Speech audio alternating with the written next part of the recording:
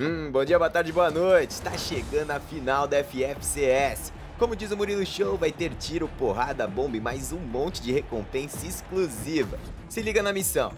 Na tela inicial do jogo é só clicar no ícone brabo da FFCS. Fica ali do lado direito, ó. Pronto, é nessa tela que você vai conseguir descolar os tokens, recompensas grátis, ver partidas ao vivo e até palpitar sobre quem vence as quedas da final da FFCS. Espera que eu te explico tudo. Ali do lado esquerdo você tem a caixa de recompensas do último dia. Quem entrar no jogo no dia da final da FFCS vai descolar uma recompensa capuda. A mochila a aprendiz dos códigos.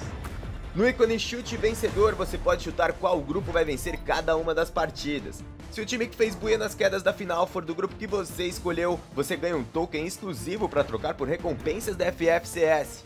Para quem quer dar aquela força para a equipe do coração, é só clicar no ícone Aplauda seu time. Você pode aplaudir até 5 vezes ao dia. Quanto mais aplausos, mais recompensas, tropinha. É, é.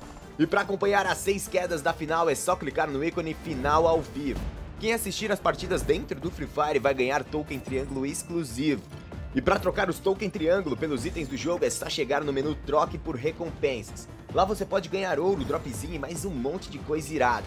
Quanto mais você gira, mais ilumina a cidade e pode até desbloquear a nova skin feminina, a Aprendiz dos Códigos. Então fica ligado, tropa, você não vai perder essa chance, né?